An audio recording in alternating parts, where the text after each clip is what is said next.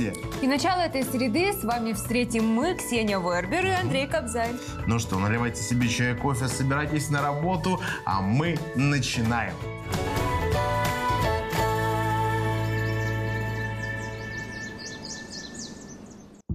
Вот уже 22 декабря, 9 дней всего до Нового года. Я еще даже подарки-то не всем купила. А вот это, Ксюша, ты зря, нужно поторапливаться. А вот а, что бы ты себе хотела в подарок на Новый год? м? М, Ну, не знаю, наверное, что-нибудь вот как на этом видео.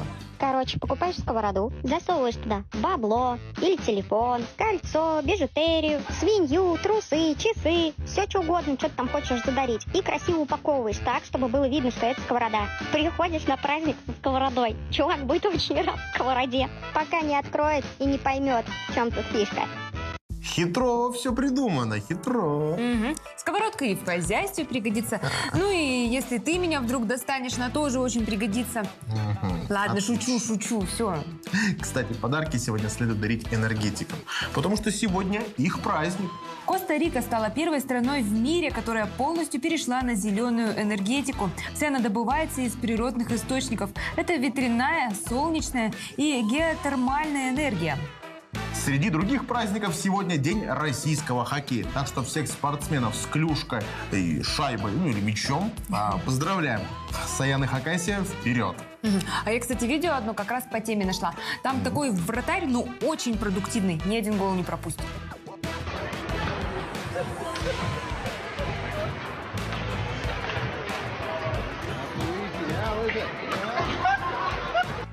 Да, он просто уснул в воротах. Все ребята играют, а у него по графику тихий час. Ну, извините, да. Ну, главное дело, что никто гол забить не сможет, просто потому что он полностью перекрыл с собой ворота. Да, ну а в наш утренний эфир врывается рубрика «5 фактов». И сегодня мы поговорим о копилке. Смотрим.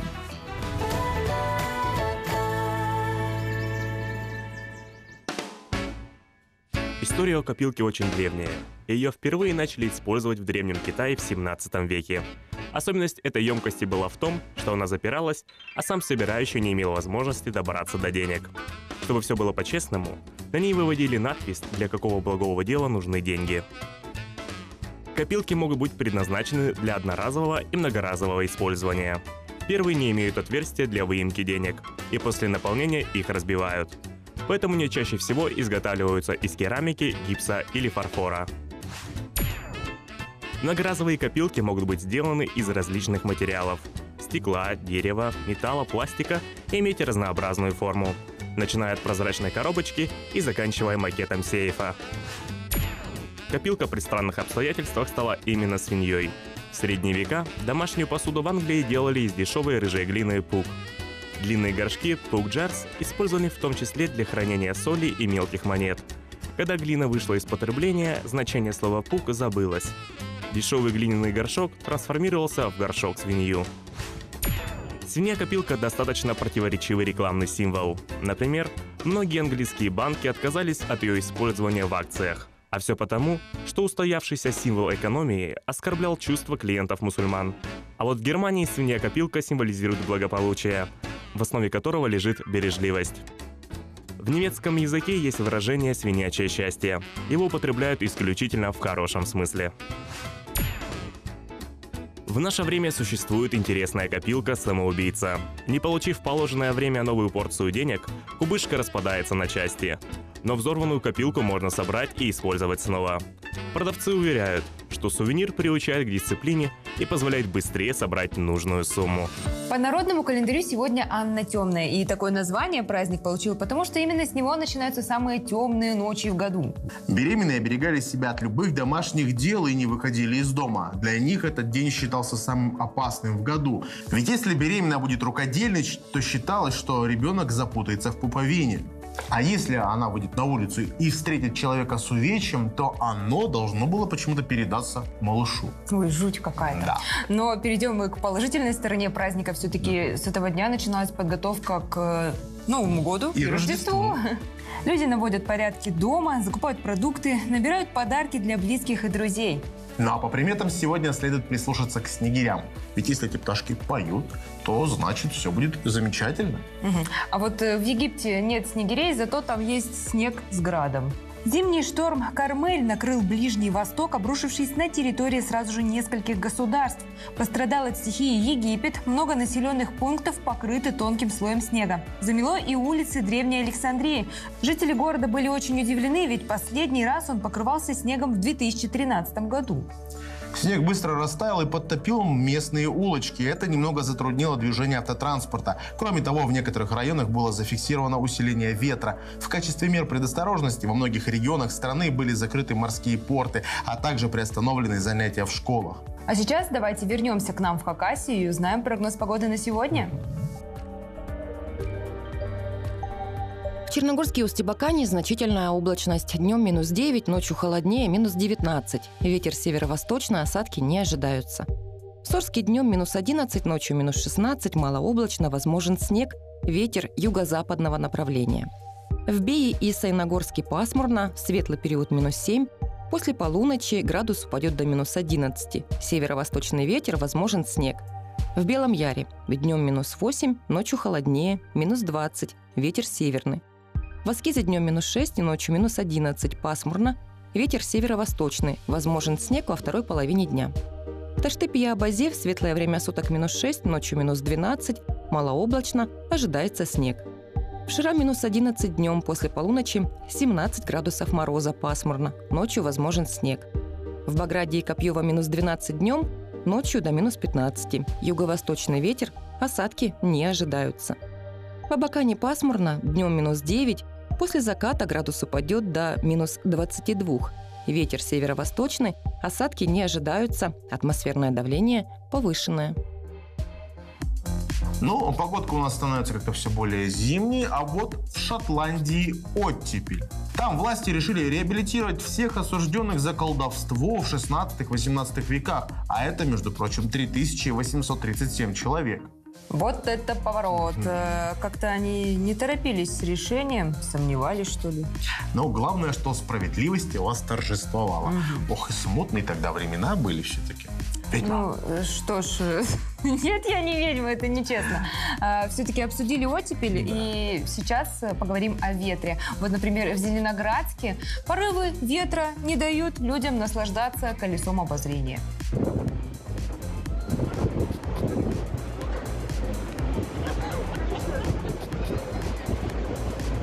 Да уж, тут и красотами полюбуешься, и адреналинчика хапнешь. Сомнительное развлечение. Я бы вот на таком не прокатилась точно. А вот очень несомнительной оказалась идея блогерши Дэми Скипер. В мае прошлого года она предложила обменять простую заколку на что-то более ценное. Этим стали дешевые сережки. И, используя соцсети, она, совершив 28 обменов, дошла до своей первоначальной цели в виде дома. В скором времени она хочет переехать туда с мужем и сделать ремонт.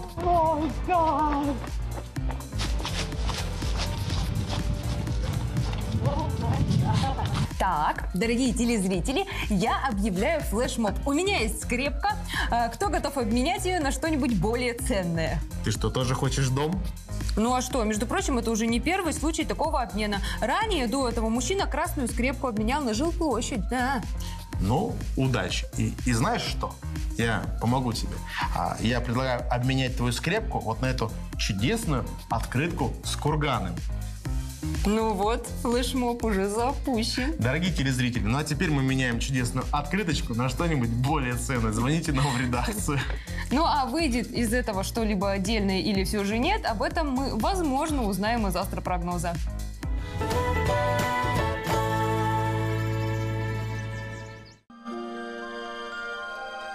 У овнов будет прекрасная интуиция, которая поможет им принимать правильные решения. Если у тельцов будет на сегодня четкий план, то они смогут успеть все и даже больше. На многие вещи близнецы сегодня просто махнут рукой.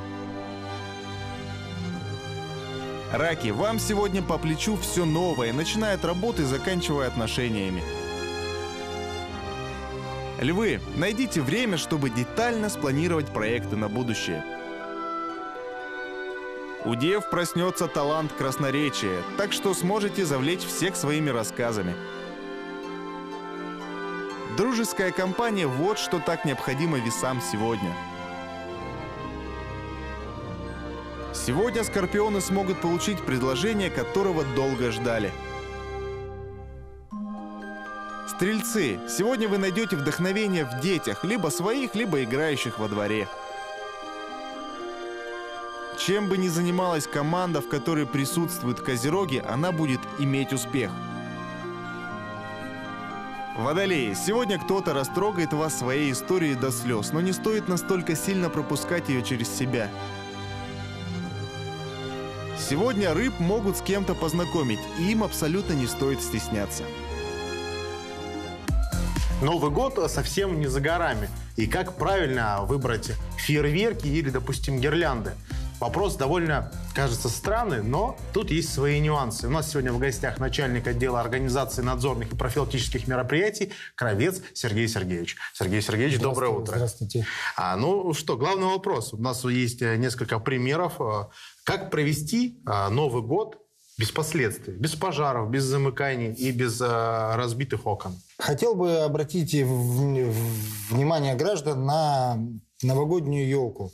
Сейчас э, очень много украшений продается в наших магазинах. Как правило, что касается электрических гирлянд, они ну, практически все китайского производства. То есть не Не стоит э, смотреть на самые дешевые. Нужно, да, лучше, а, лучше выбрать э, подороже и, и покачественнее. нужно обратить внимание на провода, я так Да. понимаю. Вот у нас есть на столе замечательный Вот, пример э, дешевых да. гирлянд. Буквально в прошлом году пользовались гирлянда, все нормально было. В этом году стали разматывать. Не наматывая на елку, решили проверить, работает она нет. И того гирлянда замкнула. И, Кнопочку выбила, да, я вижу, да? и оплавилась. А прогорела В плата случае, немного. да, в случае, если бы данная гирлянда была бы на елке, Могло быть возгорание. Да, могло быть возгорание, так как елки, что касается настоящих, они вообще пожароопасные. Э, Что касается искусственных, тут надо обратить внимание э, на э, материал, из, из которого изготовлена Насколько он искусственная горюч. елка. Да. По идее, на каждую продукцию должен идти сертификат пожарной безопасности, в котором указывается с- горючий и негорючий материал И, дымообразующий. и как, какой. как тушить и не задохнетесь, если вы от Да. дыма, да? И вообще рекомендуется применять материалы с, с категорией горючести Г1, Г2 и с дымообразующей Это что значит способностью Г1, Г2? не горючее, либо трудно горючее. И с дымообразующей способностью D1, D2. То есть не образует Не дыма дымит. и слабо образующий дым. э, дым. Чтобы даже если случайно, даже если специально человек захочет поджечь елку, чтобы у него этого ничего не получилось. Да. Э, Также на что хотел обратить внимание граждан, на использование пиротехнических изделий. Ну, вот у вас есть да. самые простые, это бенгальские Да. огоньки. Э, Есть Они делятся в, в, обычной продаже первый, второй, третий класс э, оп- оп- опасности. В соответствии с техническим регламентом экономического техническим регламентом э, Евразийского Таможенного союза. таможенного союза, да, о безопасности пиротехнических изделий. Ну, вот у нас вот- есть два вида. Вот Хлопушки. Хлопушки, хлопушек, да? ну, они идут с первого класса опасности, как и бенгальские огни. Ну вот смотрите, бенгальские огни разные. Есть маленькие, ну прям совсем для Да. дома, для семьи, как Да. говорится. А есть побольше вариант. Побольше вариант э, для вашей безопасности рекомендую все-таки использовать на улице, не вне помещения, так как от бенгальских огней также идут искры, также падают... э, Кусочки, да, раскаленные. Да, и если... Можно прожечь ковер. Да, будет на, это будете использовать на ковре, либо вблизи мебели, то, соответственно, можно прожечь и возможно произойти пожар. И получить не удовольствие, а Да. наоборот расстройство. Пробле- проблемы. Ну, хлопушки у нас, я так понимаю, не пожароопасные. Да, Это- это, вот для использования просто много мусора. да, в, в помещении. Так, но дергать мы ее не будем, потому что убираться Хорошо. после нее мы не хотим. Так, ну Вот давайте. Фонтаны, Это- они, фонтан. как правило, идут э, второго класса опасности. Это для использования на улице. То есть это у нас здесь, э, мы поджигаем фитиль, Фитиль, да, он догорает до пиротехнического, И- начинки и да. начинает и очень много искр. да. Соответственно, если это будем делать дома, то может загореться а, диван, сейчас, сейчас, как ёлка. правило, уже все используют натяжные потолки. В А это- большинстве, а это опасно да, очень сильно. Это загорится и Так, ну хорошо. Тяжелым последствиям. Е- Едем дальше, как говорится. У нас есть э, это, это третьего класса опасности. э, Шесть залпов. Да. Ее вообще категорически запрещено использовать в помещении. С балконов С тоже балкона нельзя, тоже. Только на улице. И вообще Для лиц при- старше 18 лет. Это, кстати, очень да. важный момент. И на многих ли пиротехнических При, изделиях с- при использовании пиротехнических изделий на каждом продукте есть инструкция по применению, э, как применять, на каком расстоянии, безопасном расстоянии от э, здания либо горючих предметов. Также возрастное ограничение. С 16, с 18 лет. Нужно ознакомиться с инструкцией да, перед запуском Перед запуском это, в- это, это в первую очередь. сначала читаем матчасть, а потом А идем, потом, а идем потом уже используем. да. А у нас, как правило, вначале мы сломаем, а потом начинаем Да, и э, вот а, искать, очень почему. много проблем бывает, в том числе вот с этими коробочками, с залпами, где вылетают Да. э, фейерверки, а люди их часто не закрепляют. Первый залп полетел, коробочка, Коробочка упала на бок, падает, да, полетела и- в припаркованные машины, в людей, в зрителей, в балконы. Да. А Что делать, если вдруг а, от ваших не очень прямых рук а, загорелся, допустим, балкон, но залетела туда случайно вот, ракетка вот эта вот новогодняя, что делать? Ну, если конкретно залетела на балкон и там есть горючие материалы, в результате чего они начали гореть, то, конечно, предпринять меры к тушению пожара этого, но при условии, что если вам ни- ничего не угрожает. А то бывали случаи, что люди начинают тушить пожары и сами получают травмы а, и, и угорают, и от ожогов погибают. А есть ли какая-то статистика, допустим, по годам, а, стало ли меньше у нас происшествий в ночь с 31 на 1? А, Стали ли люди более умно подходить к использованию пиротехники? Это в целом, как выразиться, циклический характер такой происходит. В прошлом году люди довольно серьезно отнеслись к этому вопросу, происшествий было меньше. А было, были случаи, что вот точно по годам не скажу. э, Прям что- волна была, да? Да. Было даже вот с ночи 31 на 1 э, на территории республики 4 человека погибли в результате пожара. Жуть какая. А, но во сколько начинается у спасателей работа 31 декабря? А мы же привыкли, что фейерверки мы идем Самого, после речи самого президента. 31 декабря э, работа, люди готовятся, как бы... Всё в ночь не- происходит, да? все начинается после 12, самая, самая нам- на- напряженная обстановка. То есть до 12 вы тоже сидите спокойно и готовитесь к Да. встрече Нового года. А вот после, после 12 уже люди начинают злоупотреблять алкоголем, начинают в, нетрезвом виде э, пользоваться фе- фейерверком. и Ну, естественно, целом- пиротехникой в нетрезвом виде пользоваться Конечно, запрещено категорически, да. даже бенгальским огоньком маленьким. То есть я правильно понимаю, если вот этот абсолютно с виду безописный, безобидный а, бенгальский огонек кинуть э, в легко воспламеняющиеся предметы, в, на диван, допустим, может Да даже, даже использовать вблизи э, Со шторами, ёлки допустим. или, или со, да, со шторами. Вполне может произойти Может все пожар. закончиться не очень хорошо. А во сколько заканчивается День спасателя? То есть, ну, понятно, в полночь, в час ночи еще, скорее всего, происшествие происходит. Э, Вообще, в период с 31 декабря по 10 января, на период всех э, новогодних рождественских праздники, да, мы в полной боевой готовности, 24 часа в сутки дежурим, и у нас э, усиленный вариант несения службы в, в- в этот период происходит. То есть, прям всех из отпусков или даже не отпускаете в отпуска Ну, вот никого? в отпусках э, уже, как правило, начинается, год заканчивается, отпусков уже нет, их уже люди А новые гуляли. еще не решили А новые тратить. еще не, на- не начались, э, обычно после 10 января начинается. Ну, а, Когда Сергей- горячая пора пройдет. Сергей Сергеевич, вот скажите еще, а на что следует обратить внимание при покупке пиротехники? То есть у нас сейчас в интернете очень много там, страниц в социальных сетях появилось, что продаем а, пиротехнику напрямую от производителя, поэтому она дешевле там, в два раза. На что стоит все-таки смотреть В первую очередь на наличие сертификата на данную пиротехническую продукцию. То есть если прод- продавец говорит, что да зачем вам сертификат? Ну красиво же, бахнет красиво. Вот, Сразу э, да, и это, скорее всего, был контрафакт. э, пос- э, Это, это какой-то левак, и ничему хорошему это да, не это не приведет. приведет, да. Э, Как правило, ну, если подходить к вопросу безопасности, то все пиротехнические изделия должны продаваться в специализированных магазинах, специально отведенных э, киосках. Э, вот буквально, наверное, в прошлом году нами пресекались случаи, когда торговля произ- происходила просто на капоте на А, как из багажника, да, говорится, да? да. Подходите и И покупаете. это категорически запрещено, то есть да, помещение должно быть оборудовано. Там даже, я думаю, сейчас- пожаротушения, и автоматической пожарной сигнализацией, соответственно, располагаться на э, безопасном да, расстоянии. от, от других зданий, чтобы в случае чего Мне кажется, в таких, а, у таких продавцов э, с капота, как говорится, даже сертификат спрашивать как-то неудобно. Вряд ли он у них есть. Только человека в неловкой ситуации Может, поставили. не, не- не исключено. Ну, кстати, вот когда нами э, пресекались такие случаи, сертификат у людей был, просто нарушались правила пожарной безопасности при Именно реализации, при да, реализации, да. Ну, пиротехнических изделий. Что ж, Сергей Сергеевич, спасибо вам большое, что пришли, рассказали, а, показали.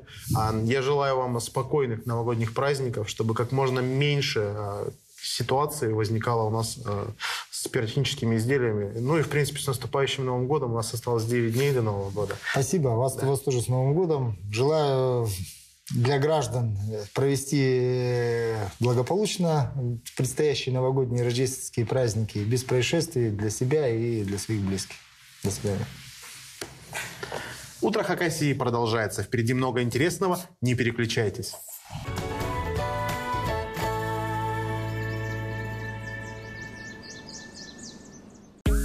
Новости высоких технологий. В Сингапуре разработали гибкие батареи на основе бумаги. Лист 4 на 4 сантиметра может питать портативный вентилятор в течение 45 минут. И такой аккумулятор не теряет функциональности даже при деформации. А при утилизации в почве он разложится за несколько недель. Вот он, долгожданный прогресс в аккумуляторах. Наконец-то, ура, дождались. А, как думаешь, скоро это в нашу жизнь войдет? Не знаю, но как минимум это даст толчок в нужной сфере. И, возможно, очень-очень скоро мы увидим удивительные изобретения. А, и раз уж мы начали про науку, то предлагаю продолжить. Выращенные в лаборатории клетки человеческого мозга научили играть в виртуальный пинг-понг. А клетки играли в упрощенную версию для одного пользователя. На обучение у клеток ушло всего 5 минут. И это, кстати, неплохой результат для нескольких клеток. А самую умную нейросеть обучили за 90 секунд. Вау! Вот это вот прям серьезное научное достижение. Ждем, когда эти клетки обучат играть в более сложные игры. Ну а потом, глядишь, и будут применять это в каких-то более полезных сферах нашей жизни. Мгм, может, и с тобой партийку сыграют. А, так, а, ну что, открытий, мне кажется, на сегодня уже многовато. Да. Давайте узнаем новости из Хакасии. Смотрим свежий дайджест новостей из нашей республики. Лучшие предприниматели республики получили награды за победу в региональном конкурсе. На участие в нем было подано 84 заявки, финал вышел 21 конкурсант. Победителями признаны 8 бизнесменов по одному на номинацию. Кроме того, были названы лауреаты и призеры регионального этапа федерального конкурса «100 лучших товаров и услуг России». В столице Хакасии откроют традиционный пункт питания для людей без определенного места жительства. Адрес прежний – улица Промышленная, 25, за торговым центром Саяны. Горячую еду бездомным начнут раздавать с 25 декабря с 10 часов утра до полудня. Палатку оснастят антисептиками и масками. На территории также установят туалеты, баки для мусора. Некоторые посетители бывают агрессивными, поэтому во время раздачи обедов на месте будет дежурить полиция. Срок работы походной столовой будут определять по погоде. Кроме того, абаканцы могут поделиться с нуждающимися теплыми вещами. Их принимают в Минтруда и соцзащиты по улице Советская, 75. Хакасские легенды оживают в мультипликации. Региональная киностудия «Ветер перемен» готовит первый игровой мультфильм под названием «Саяна. Путь шамана». Завораживающий микс из древнего фольклора, мистики, фантазии художников и компьютерной анимации. Один день работы – это всего 2-3 секунды мультфильма. А предполагается лента до полутора часов. Команда воплощает идею в жизнь на грант Сибирского молодежного кинофорума. Сейчас заканчивают тизеры и в ближайшие дни представят онлайн-платформам. Хакасской анимацией заинтересовались «Союз мультфильм» и другие студии. В зависимости от переговоров будут делать полнометражный мультфильм или целую серию историй.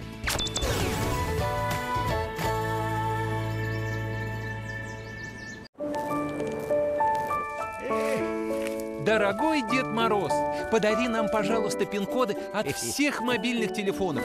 Мы очень этого хотим. Ну, пожалуйста.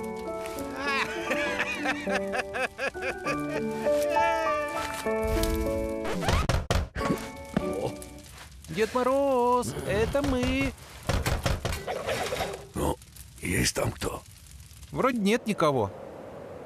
Зря приехали, что ли? Если вы сами им не расскажете, никто не расскажет. Берегите ваши секретные данные от мошенников. Узнайте больше на fincult.info.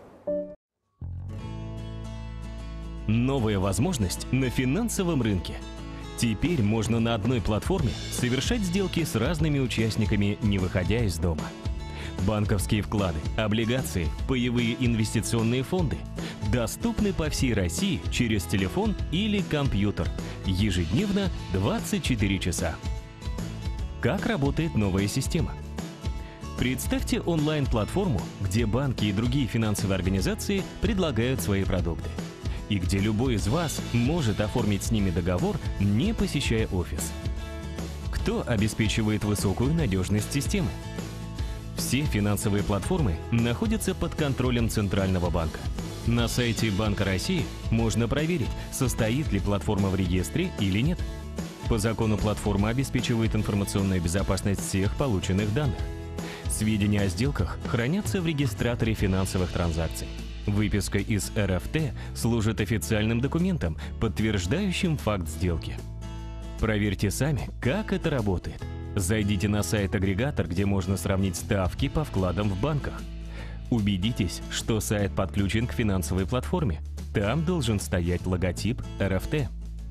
Выберите продукт, пройдите идентификацию через госуслуги, подтвердите условия договора, откройте вклад, получите уведомление от РФТ и отслеживайте сделки на портале госуслуг. Теперь, где бы вы ни находились, вы сможете быстро и безопасно приобретать финансовые продукты.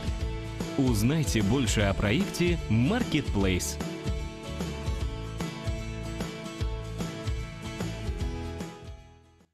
Ну а теперь время хорошей истории, но с грустным оттенком. Жил-был пес, и рос он вместе с коровой, и стали они лучшими друзьями. Но корову продали, и песик стал очень грустить. Да так сильно, что хозяин вернул деньги покупателю и вернул корову. Дружба оказалась сильнее денег. Какая прелесть. Друзья снова вместе. А то у песика прям такой грустный взгляд был. Так жалко его стало. Но главное, что сейчас все хорошо. А будет еще лучше, потому что пришло время для нашей любимой рубрики «По приколу». Смотрим.